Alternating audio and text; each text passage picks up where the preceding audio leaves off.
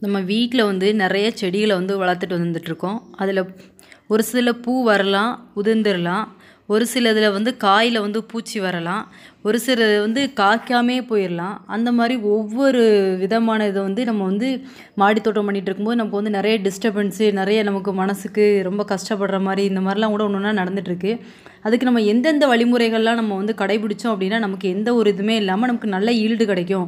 அப்படிங்கிறத பற்றி தான் இன்றைக்கி வந்து ஒரு ஒரு பதினஞ்சு டிப்ஸ் வந்து உங்களுக்கு வந்து நான் வந்து எடுத்து வச்சுருக்கேன். அதை தான் வந்து நான் வந்து இன்றைக்கி வந்து உங்களுக்கு வந்து நான் வந்து சொல்ல போகிறேன் வாங்க.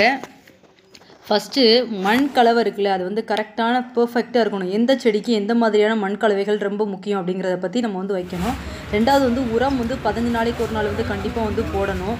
மூணாவது வந்து எக்ஸ்பிரி ஆகாத விதைகளை மட்டுமே நம்ம வந்து விதைச்சோன்னா நமக்கு நல்ல ஈல்டு வந்து கிடைக்கும்.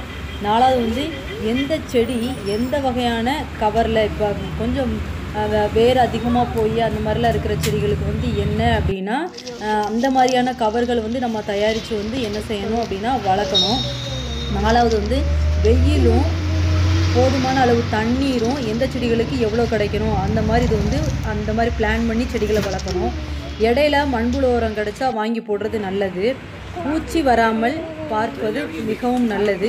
பூச்சி வந்துருச்சுன்னா அந்த செடியை அப்புறப்படுத்தி சரியான பூச்சி விரட்டி பயன்படுத்தி நீக்கிறதுக்கு நம்ம வந்து கண்டிப்பான முறையில் அதில் வந்து இறங்கணும். கவர் க்ரோ பேக்கு எதில் ஆனாலும் பரவாயில்ல. களைச்செடிகள் ஏதாவது களைச்செடி அதாவது நம்ம என்ன செடி வளர்க்குறோமோ அந்த செடிகளை சுற்றி இந்த இந்த இதில் பாருங்கள் கலைச்செடிகள் வளர்ந்துட்டுருக்கு. அது கீழே நல்லி தான் இருந்தாலும் வளர்ந்துட்டுருக்கு. அதை கூட நம்ம வந்து எடுத்து அகற்றணும்னா அந்த தக்காளி செடிகளுக்கு ரொம்ப நல்லது. தக்காளி செடிக்குன்னு இல்லை எந்த ஒரு செடிகளுக்குமே ரொம்ப நல்லது. மேக்ஸிமம் பூச்சி விரட்டி மருந்து பூக்கிற பருவத்துக்கு முன்னாடி யூஸ் பண்ணுறது நல்லது. பூச்சி விரட்டி மருந்து நம்ம பூத்துன பூ பூவெல்லாம் பூத்ததுக்கப்புறம் நம்ம யூஸ் பண்ணோம் அப்படின்னா கொஞ்சம் கம்மியாக தெளிச்சுக்கோங்க. அதுக்கப்புறம் எந்த செடியை நாற்று விட்டு பின்னாடி நடணுமோ அந்த செடியை நாற்று விட்டுட்டு நடணும். இல்லைனா டேரெக்டாக விதைகள் வந்து போட்டு நடை நடுகிற செடியில் டேரெக்டாக விதைகள் போட்டு நடையணும்னா அந்த மாதிரி பிளான் பண்ணி நட்டு வைங்க. எந்த பருவத்தில் எந்த காய்கறிகள் வளர்த்தா நல்லா வளர்ந்து வரும் அப்படிங்கிறத பிளான் பண்ணி வச்சோன்னா அதிகமான ஈல்டு கிடைக்கிறதுக்கு நிறைய சான்ஸ் இருக்குது சிக்கனமாக செடி வளர்க்கணும்னு நினச்சோன்னா வீட்டில் இருக்கிற வேஸ்ட்டு செடியெல்லாம் நம்ம வேஸ்ட்டு இப்போ இதெல்லாம் இந்த இந்த பக்கெட்டு கவர் இதெல்லாம் வேஸ்ட் பண்ணாமல் வந்து வைக்கிறது நல்லது. அதே மாதிரி கீரை வகைகள் இதெல்லாம் வளர்த்தோன்னா அதிக வெயில் தேவைப்படும். அதிகமான வெயிலில் வைங்க. பூச்செடிகள் வளர்க்கணுன்னா அந்த பூச்செடிகளை பாதுகாப்பாக வளங்க.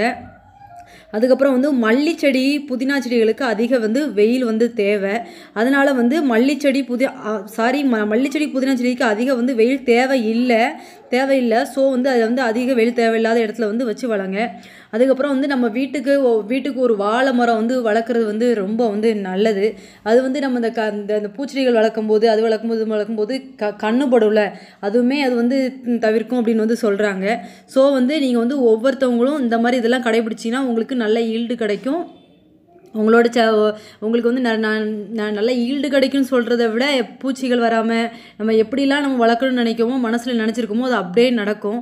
ஸோ நீங்கள் இதே போல் வீடியோஸ் வந்து உங்களுக்கு வந்து அப்டேட் ஆகிறதுக்கு சேனலை சப்ஸ்கிரைப் பண்ணுங்கள் லைக் பண்ணுங்கள் ஷேர் பண்ணுங்கள் தொடர்ந்து இணைந்திருக்க உங்களுக்கு ஏதாவது க ஏதாவது க வீடியோஸ் ஏதாவது பற்றி வளர்க்குறத பற்றி தேவைனாலுமே நீங்கள் கமெண்ட்ஸில் தெரிவிக்கிற மூலமாக அந்த வீடியோ போடுறதுக்கு நான் ரெடியாக இருக்கேன். தேங்க்யூ